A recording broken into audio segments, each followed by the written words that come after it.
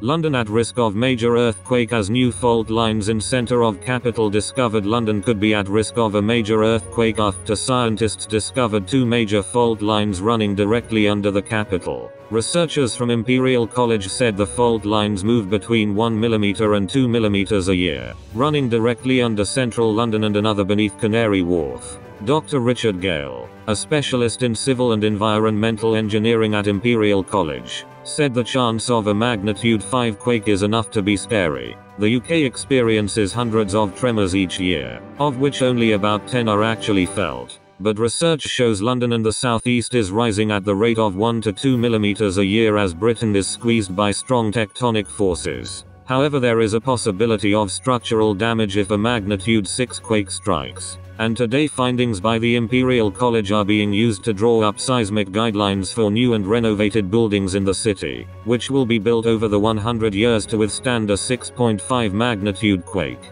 Dr. Ghail said the research had overturned the traditional view of London as geologically stable. He said, it now looks a modestly active, very heavily faulted, complicated area. It's probably gone from the simplest to most complex geology in the UK. The last time London was hit by an earthquake was back in the 1770s. But now researchers say there is only a 1 in a thousand year chance of a tremor. Dr. Ghail said that although it was scary it was not fundamentally a problem.